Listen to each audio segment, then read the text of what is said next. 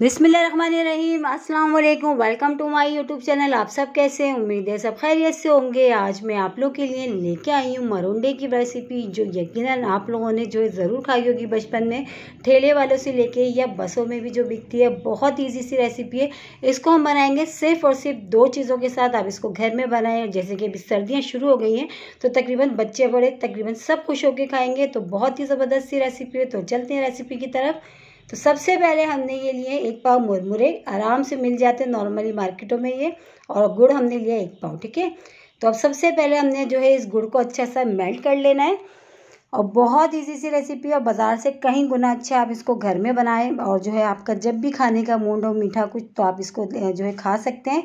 और इतने ज़बरदस्त ये बनते हैं कि बच्चे बड़े तकरीबन सब खुश होकर खाते हैं। तो ये देखें हमने गुड़ इसमें डाल दिया और गुड़ देखें थोड़ा सा मेल्ट होना शुरू हो गया था। अच्छा इसको मैंने तोड़, जैसे ही मेल्ट होना शुरू हुआ है तो मैंने चम्मच से इसको तोड़ लिया था, आराम से ये टूट जाता है, ठीक है? अगर आप चाहो तो जो है पूरा तोड़ के भी इसको डाल सकते हैं। अभी इसमें पानी वानी बिल्कुल भी कुछ भी हमने नहीं ऐड करा। तो ये देखिए ये अच्छा सा गुड़ जो है मेल्ट हो चुका है, लेकिन अभी इसमें थोड़ी सी हमें गुठलियाँ नज़र आ रही हैं। उसको भी अभी हमने इसको अच्छा सा मेल्ट करना है। और इतना ज़बरदस्त ये जो है मरुंडे बहुत से लोग इसको जो है मुरमुरे के चिक्की भी कहते हैं तो बहुत ज़बरदस्त से ये घर में बनते हैं। और जैसे कि अभी सर्दियाँ हैं, सर्दियों में आप बना के रखें, इतनी ज़बरदस्त सी रेसिपी है ये। तो ये देखिए, अभी हमने थोड़ी सी प्याली में हमने पानी लिया था, उसमें ये थोड़ा सा हमने डाल के देखा था। तो बिल्कुल ये सिमट सा जाएगा, एक तरफ़ बॉल सी बन जाएगी तो जब ओके होगा, अभी ये जो है बिल्कुल भी इस तरह नहीं हो रहा तो इसको अभी हमने और थोड़ी देर पकाना है अच्छा सा, ठीक है? तो ये थोड़ी देर हमने इसको पका लिया, इसको दोबारा चेक कर लेते देखिए, एक प्याली हमने पानी लिया था, एक प्याली। और उसमें हमने थोड़ा सा ये डाल के देखा है तो जो ये जो सिमटने लगेगा, बिल्कुल अच्छी सी बॉल सी बनने लगेगी तो जो गुड़ हमें जितना चाहिए उतना जो है ओके हो जाएगा, ठीक है? तो ये देखिए, ये आराम से अब जो है, सारा ये सिमट रहा है तो बस गुड़ जो है बिल्कुल जो है ओके हो चुका है। अब इसमें हम शामिल कर देते हैं मुरमुरे और चूल्हा हम कर देते हैं बंद, और गरम गरम में हमने ये फ़ौरन फ़ौरन काम करना है। तो ये थोड़े थोड़े डालना है हमने और मिलाते जाने एक साथ पूरे हम नहीं डालेंगे तो अभी हमने थोड़े डाले हैं। पहले हम थोड़े डाल के मिलाएँ, फिर दूसरे हमने जो जो है दोबारा हमने थोड़े से डालें। इस तरह डाल के हमने तीन किस्तों में जो है इसको थोड़ा थोड़ा डाल के और जल्दी जल्दी मिलाया गरम गरम में, ठीक है? तो ये देखिए, सब हमने डाल दिया। अब अच्छा सा हम इसको मिला लेते हैं। अच्छा जिस बर्तन में हमने इसको निकालना है, उस बर्तन को आप पहले से ऑयल या घी से ग्रीस कर लीजिएगा तो क्योंकि जो है, इतना टाइम नहीं होता ये गरम गरम बस ये मिलाने के बाद हमने इसको जमाना होता है।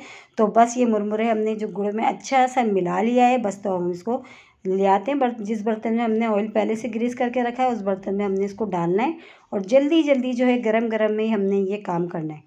तो ये हमने सारे इसमें डाल दिए।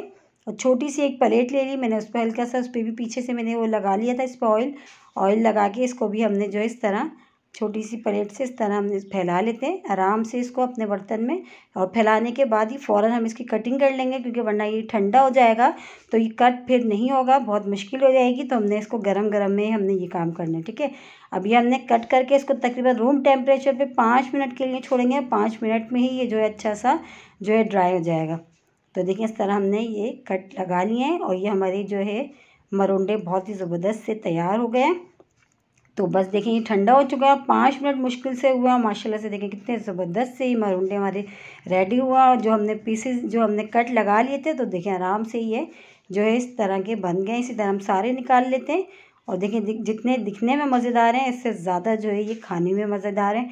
तो ये रेडी हो चुके हैं, आराम से देखिए। और आराम से निकल लें कोई मुश्किल नहीं है, इसलिए हमने पहले से जो है ऑयल से ग्रीस कर लिया था बर्तन को तो आराम से ये निकल गया आराम से इस तरह पीसीस अलग अलग हो जाएँगे। और इसी के साथ ही मेरे चैनल पे नए तो मेरे चैनल को लाइक करें शेयर करें सब्सक्राइब करें और कमेंट्स बॉक्स में ज़रूर बताइएगा कि आज की मरुंडे की रेसिपी आप लोग को कैसे लगी रेसिपी अच्छी लगी। तो लाइक करना नहीं भूलिएगा। देखिए, सिर्फ़ और सिर्फ़ दो चीज़ों के साथ हमने ही बनाए बहुत ही मज़ेदार से मरुंडे और ज़बरदस्त सी रेसिपी है। तो ये हमारे रेडी हो गए हैं सारे तो इसको हम रखते हैं प्लेट में, हम दिखाते हैं आपको। ये देखिए रेडी हो गए। और देखें, कोई टाइम नहीं लगा, कोई मुश्किल नहीं है, कितनी जल्दी झटपट से ये रेडी हुए और आप इसको बना के रखें। और आपका जब मीठा खाने का मूड आप निकालें और खा लें। और बच्चे बड़े तकरीबन सब खुश होकर खाते हैं। यकीन आज आ, याद आ गया होगा आप लोगों, आप अपना बचपन है, क्योंकि बचपन में आपने ज़रूर ये खाए होंगे। देखिए, मैं तोड़ के भी आपको दिखाती हूँ। कल फिर हाजिर होंगे। जब तक के लिए अल्लाह हाफिज़।